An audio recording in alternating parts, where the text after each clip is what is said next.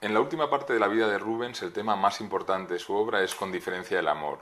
Eso tiene que ver con su biografía. Él se casa por, en, eh, en, viuda en 1626, se casa por segunda vez en 1630. Teniendo él 53 años, se casa con una joven de 16 años y uno tiene la sensación de que vive un amor apasionado durante el resto de su vida, los 10 años de vida que le quedan. Y se ve esto en muchísimos de los cuadros que pinta a partir de ese momento. En, uno de los cuadros de la colección del Prado, que está en la exposición, que es el Aquiles descubierto entre las hijas del rey Licomedes, vemos una escena que procede de la vida de Aquiles o que nos narra un episodio de la parte temprana de la vida de Aquiles, cuando el héroe griego ha sido escondido entre, en un gineceo entre las hijas de un rey por su madre para evitar que acuda a la guerra de Troya, eh, y el momento en el que Ulises y Diomedes descubren su escondite para con ello conseguir que él acuda a la guerra. Lo interesante de esta versión del cuadro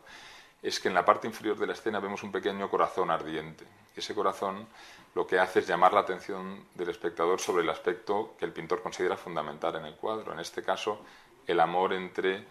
Ulises y una de las mujeres, una de las hijas del rey que ha quedado embarazada de él. Este llamar la atención sobre el corazón o sobre el amor en una historia heroica es inusual y, y va a ser absolutamente típico de la obra de Rubens a partir de este momento.